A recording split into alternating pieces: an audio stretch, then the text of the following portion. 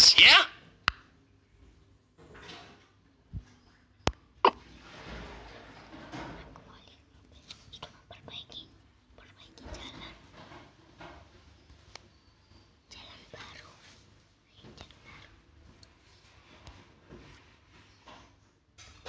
Don't forget that you can delete some old tracks that you no longer need.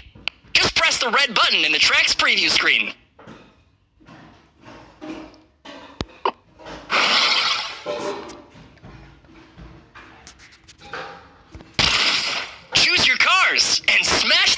Button.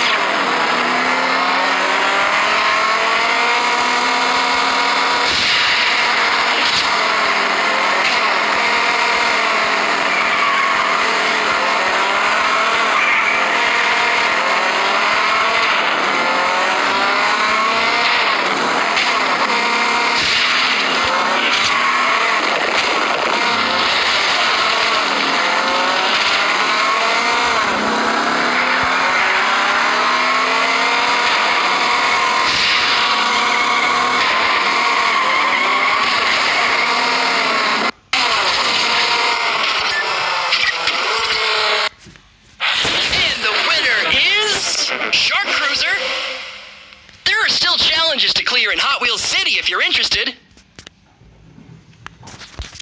pick your rides!